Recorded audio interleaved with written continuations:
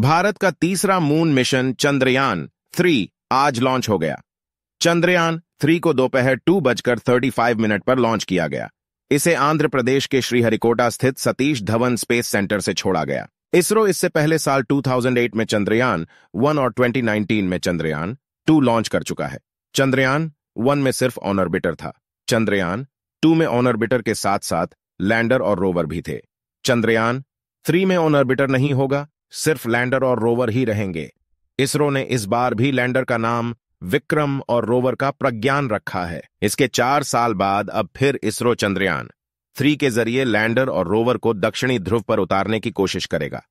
Rover एक छह पहियों का रोबोट है जो लैंडर के अंदर ही होगा और लैंडिंग के बाद बाहर आएगा। आशा करते हैं कि हमारे सामने एक बहुत ही सफल मिशन होगा। चंद्रयान थ्री के सफल प्रक्षेपण के बाद इसरो प्रमुख एस सोमनाथ ने मीडिया को बताया अगर सब कुछ ठीक रहा तो चंद्रयान की 23 अगस्त शाम 5.